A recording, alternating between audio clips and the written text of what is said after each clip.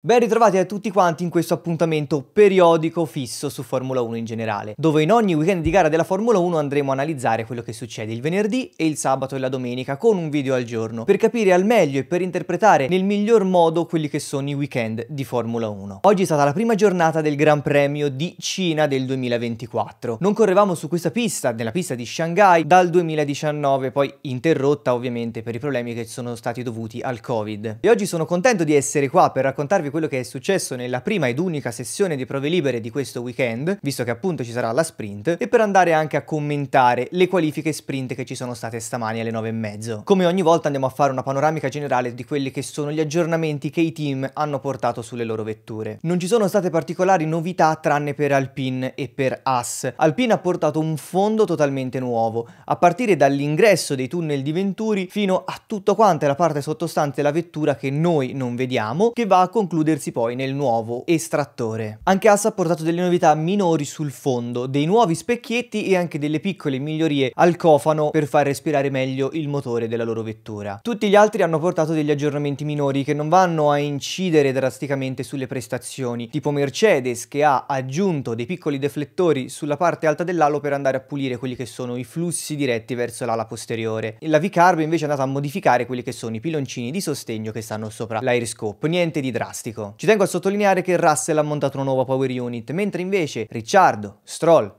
Alonso ed Albon hanno montato un nuovo cambio. Nessuno di loro andrà in penalità. Weekend di gara che sarà totalmente diverso rispetto a quelli che abbiamo visto finora, proprio perché ci sarà la prima sprint race dell'anno. Sarà tosta per tutti quanti i team, visto che una sola prova libera in un tracciato, diciamo, nuovo per questa tipologia di vetture soprattutto con un nuovo manto stradale. Ora non è proprio un nuovo asfalto, ma è stato praticamente sparso, sciolto del bitume sopra il vecchio per andare, diciamo, a renderlo un pochino più resistente resistente e un pochino più legato. Questo abbiamo visto che in fase di pioggia ha portato non pochi problemi ai team, vedendo appunto le vetture scivolare e proprio per questa cosa non sappiamo effettivamente quanto graining ci potrà essere sui long run, proprio sui passi gara lunghi, visto che in questa prima prova libera hanno fatto praticamente tutti quanti dei lavori differenti. Abbiamo visto come Red Bull si è messa a lavorare subito con la gomma gialla, provando a fare dei mini long run probabilmente per andare a cercare di capire quale sarebbe stato il limite della gomma soprattutto lato graining, visto che loro hanno avuto diversi problemi in Australia proprio con questa copertura, lavoro totalmente differente quello di Ferrari perché è entrata subito in pista con gomma rossa andando a provare diciamo più tempi da qualifica, quindi con poco carico di carburante. Questo secondo me è legato anche al fatto che Leclerc ha avuto tanti problemi nel giro di preparazione del giro di qualifica, quindi nel giro precedente nel quale si vanno a scaldare le gomme, scaldare i freni per poi portare la macchina nel migliore delle condizioni per fare il giro della qualifica. Sicuramente Ferrari ha voluto lavorare tanto su quelle che sono state queste problematiche. Vedremo poi nella qualifica di domani se queste cose saranno state veramente risolte. Visto che oggi è stata corsa una qualifica bagnata e non c'è stato modo di capire se effettivamente sono riusciti a trovare una quadra a questo problema. Pista lentissima e non ci ha dato modo di capire realmente quelli che possono essere stati i valori in campo, anche perché un reale passo gara con la gomma gialla l'ha percorso solamente Red Bull. Ferrari poi negli ultimi 15 minuti è andata a fare un mini long run con massimo massimo carico di benzina. Comunque i tempi che sono stati segnati da Red Bull, quindi Verstappen e Perez durante il loro long run a metà della sessione, quindi quando la pista era ancora molto sporca, vede dei tempi che si assestano intorno all'1.42, 1.42.2, 1.42.8, comunque con molta costanza. Per ora non ci sono stati particolari segni di, di graining sull'avantreno. Si sono anche poi viste su Twitter queste foto di Albert Fabrega che fanno vedere che appunto non è che ci sia stato così tanto graining sulle coperture come ci saremmo aspettati. Quando poi tutti quanti hanno iniziato a testare il giro di qualifica, Ferrari ha fatto il contrario, quindi si è messa a fare un mini long run molto mini, con le gomme usate, non hanno approfittato di una nuova mescola, ma hanno usato quelle che avevano già montato per fare le loro prove di qualifica, però andando a fare un pieno di carburante. Ovviamente con delle coperture così consumate e un carico di benzina così alto i tempi non sono stati eccelsi e soprattutto c'è stato anche molto degrado in questo caso, però è tutto quanto nella norma. Nient'altro di particolare da segnalare se non comunque una prima posizione di Lance Stroll e una seconda di Oscar Piastri, cosa abbastanza normale visto comunque il progressivo miglioramento della pista e quindi così facendo i tempi andavano sempre di più a migliorare. Entriamo ora nel succo, nella parte più specifica di queste sprint race, andando a vedere come Lando Norris ha fatto una prima posizione spettacolare sul bagnato nel Q3, andando a mettere tra sé e Lewis Hamilton, il secondo arrivato, un secondo e tre. Veramente veramente tanto, ottimo, ben fatto da parte di Norris e McLaren, McLaren che partiva svantaggiata su questa pista per via della conformazione. Classifica completa che vede Norris in pole position, seguito da Hamilton e Alonso. Vediamo in questo caso come con due macchine non particolarmente performanti, due persone con moltissima esperienza in Formula 1 e anche sul bagnato siano riusciti a mettere dietro piloti molto più giovani con vetture molto più performanti. Infatti sono veramente contentissimo per Hamilton e per Alonso per questa posizione. Un po' meno per il comportamento che ha avuto la FIA in questo caso, visto che tanti piloti sono usciti di pista durante il loro giro veloce e così facendo hanno costretto i commissari di gara a cancellarli te. Una cosa veramente assurda, dato che sono tutti quanti usciti in un modo che nessuno avrebbe mai potuto guadagnare del tempo. Quindi io mi chiedo, va bene il regolamento che dice di cancellare il tempo se vai con quattro gomme al di fuori della pista, ma se non guadagni, che senso ha andare a cancellare il tempo? Vabbè, ce lo faremo spiegare poi dalla FIA, cosa che inizialmente è successa anche a Norris, ma è stata ben più particolare, perché Norris gli è stato cancellato il tempo non del giro in cui è uscito dalla pista, ma nel giro successivo. Questo perché il regolamento parla chiaro, se ti esci di pista nell'ultima curva prima del traguardo, ti viene cancellato sia il tempo del giro in cui sei uscito di pista, sia il tempo del giro successivo. Questo perché uscendo di pista potresti guadagnare un vantaggio in trazione e quindi riprendere molta più velocità sul dritto quando vai a tagliare il traguardo. Ed è per questo che gli è stato cancellato appunto il tempo. Però la FIA ci ha ripensato e è tornata indietro perché sono andati a guardare i microsettori e hanno ben visto che Norris non aveva guadagnato niente. Una cosa un po' particolare visto che in quel momento Hamilton era abbastanza sicuro di avere la prima posizione e magari nell'ultimo giro non ha spinto come avrebbe fatto se avesse saputo che Norris sarebbe stato primo. Una classica giocata non tanto bella della FIA. Io spero che queste cose non le vedremo mai più, ma sono certo che tanto si ripresenteranno nel prossimo Gran Premio. Dalla quarta posizione vediamo Verstappen. Verstappen che ha fatto tantissimi errori in questa qualifica. La pista era difficile, era ovviamente sporca con questo bitume particolare che l'ha costretto tante volte ad uscire di pista. Infatti gli sono stati cancellati anche diversi tempi. Sainz in quinta posizione, Perez sesto, Leclerc solamente settimo. Peccato perché da lui mi sarei aspettato molto di più sul bagnato. Invece ottima prestazione da parte di Sainz che si è messo a meno di due decimi da Verstappen. Peccato anche in questo caso. Piastri lo ritroviamo in ottava posizione, si è preso ben 3 secondi dal compagno di squadra. Questo a indicarci quanto cavolo abbia fatto bene Norris. Kick Sauber nona e decima, la loro miglior prestazione dell'anno riuscendo a mettere tutte e due le vetture in Q3, veramente bravissimi. Un Russell che non riesce a entrare in Q3 e prende uno schiaffo enorme da Lewis Hamilton, seguito da Magnussen e Hulkenberg, Ricciardo in quattordicesima posizione, Stroll quindicesimo, altro schiaffo immenso dal compagno di squadra, i classici Alpine, Gasly sedicesimo e Ocon diciassettesimo, Albon che non è riuscito a performare come avrei sperato, diciottesimo, Tsunoda diciannovesimo e ventesimo, Sargent. Quindi, cosa vediamo di particolare? Uno Tsunoda diciannovesimo che non è riuscito a entrare nemmeno in Q2 quando il compagno di squadra ce l'ha fatta con abbastanza slancio. Visto le enormi prestazioni di Tsunoda nelle gare precedenti non mi sarei mai aspettato una cosa del genere,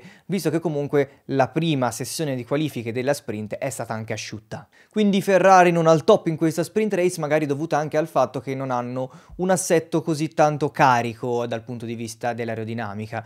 Vediamo se magari domani in gara le cose cambieranno un pochino di più. Un applauso immenso da fare assolutamente a Lando Norris che ha condotto un giro spettacolare, veramente ha, ha distrutto tutti quanti i suoi avversari. Anche e soprattutto sono molto contento di Hamilton e Alonso che sono riusciti finalmente a portare le loro macchine un pochino su in griglia e se lo meritano assolutamente perché tutti e due stanno facendo un ottimo lavoro. Vi ringrazio per aver guardato questo video, vi ricordo comunque di iscrivervi a Formula 1 in generale perché ogni weekend di gara ci saranno questi tipi di video e soprattutto perché ci trovate trovate qua domani per andare a commentare quella che è stata sì la sprint race ma anche le qualifiche vere e proprie. Vi auguro una buona giornata e ci sentiamo domani.